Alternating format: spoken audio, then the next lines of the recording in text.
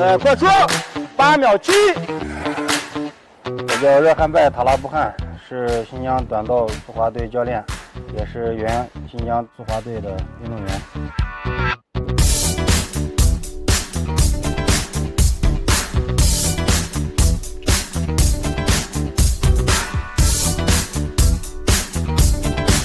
开始喽，注意角度啊，连续连续。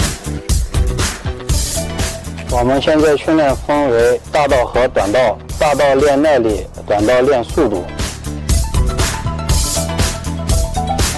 手重心啊，内刃外刃，内刃外刃。我相信在未来的速滑赛道上，会有更多新疆人为新疆争光，为国家争荣誉。